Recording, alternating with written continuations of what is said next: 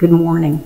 My name is Jan Denny, and I'd like to talk to you for a few minutes about how I stepped out of the boat when I got involved with Family Promise. Really involved. I'd helped a little bit when we got back to Raleigh in 2015, just doing what my friend Mickey Page told me to do. I went to the grocery store, I kept the small kitchen stocked, changed some sheets, things like that. It was a perfect job. When Don Beckham finished his amazing tenure as coordinator of the program, I heard that a lady by the name of Sharon Starnes was taking over.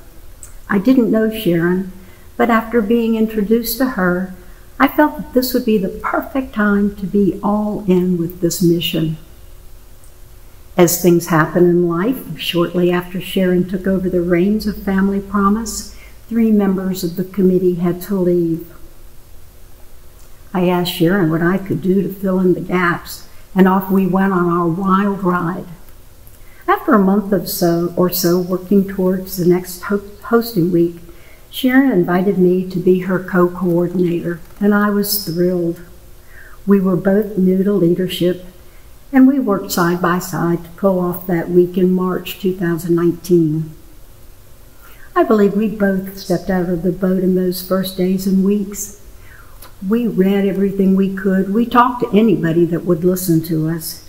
And then we came out the other end of that week happy and exhausted.